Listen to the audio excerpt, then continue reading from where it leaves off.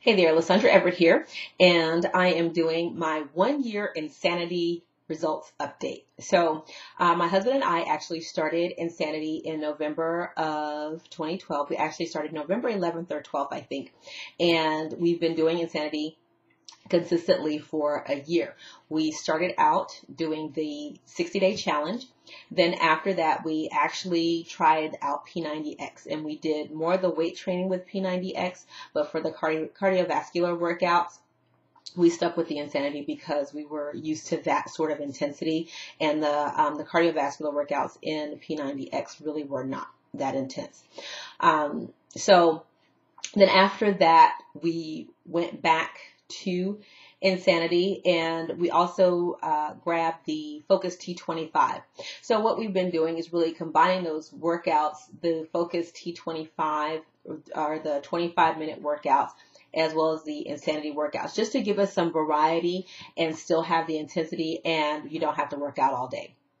So where are we a year later? We are still going strong. Um, we are have been able to maintain the results that we've gotten from Insanity and the workouts still don't get any easier. So if you're if you're thinking that insanity a year later is easier, it is not.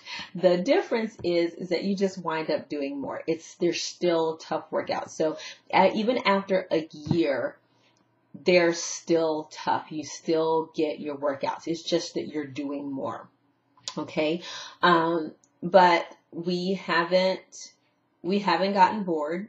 Um, we still sometimes, you know, even you, you would think that doing a workout for a year that you would know what's in each workout. We still, we still don't know sometimes what's in the workout when we start. And then, you know, once we get started, like, oh yeah, that's what's in here. Um, but anyway, it's still effective. So even a year later, it is, um, Insanity has still been an effective workout. Focus T25 is still a great way to add some variety to the workout routine so you don't get bored doing the same thing. Um, and so there we go. So um, I wholeheartedly recommend uh, Insanity to anyone who's really trying to get some results in a short amount of time. The workouts are tough but you can do it. I know I've talked to a lot of people that are afraid of the Insanity Workout Program. There is really nothing to be afraid of. If you have no, no medical reason why you should not be working out, then I would highly, highly, highly recommend getting the Insanity Workout Program because it's just great and you won't outgrow it. You won't get used to it and you won't make it through the workout without dying. okay, so I really hope this helps you. Maybe if you're looking like, you know, you hear people talk about the 60 day challenge and then that's the end of it. So here I am a year later. I'm still loving it. Um, I still look I look good. Shucks, I am in my 40s and I feel fabulous.